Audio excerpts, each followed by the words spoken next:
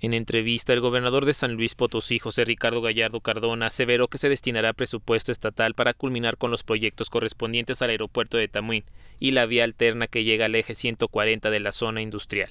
Esto luego de cuestionarle sobre el presupuesto federal que se asignará a la entidad potosina y que no contempla los mencionados proyectos ni a la modernización del camino Damián Carmona a El Aguacate. Eh, malo, ¿no? Malo que no se le esté tomando en cuenta nuevamente a la Huasteca Potosina y mucho menos tampoco, bueno, eh, el tema de la vía alterna. Va a tener que entrar el Estado nuevamente a rescatarlo, pero vamos a entrarle, lo vamos a hacer nosotros.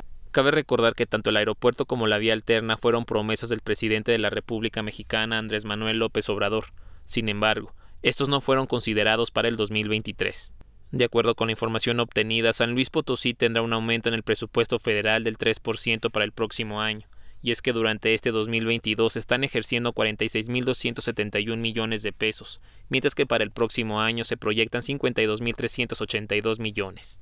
De dicha cantidad, 3.142 millones de pesos serán destinados al rubro de infraestructura, para la construcción y mantenimiento de carreteras y caminos rurales, en la que sí se contempla la carretera que une a Valles con Tamazunchale. Con edición de Salvador Covarrubias, José Luis Vázquez.